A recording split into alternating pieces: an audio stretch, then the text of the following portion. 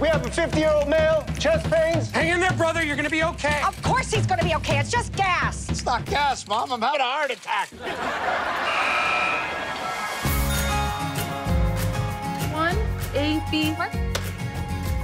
It's fundamentally a love story, but we wanted to write about the immigrant experience. So where are you from? Nigeria. Wow. That's a heck of a commute, huh? There couldn't be two more different people, and I think it's going to be very sweet to see if she can just give him a chance. Is uh, today like a day off for you? Yes, goodbye.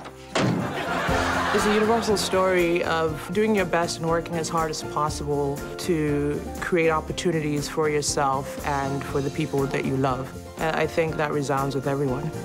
Ah, this is nice. I thought there'd be more weirdos. You are the weirdo.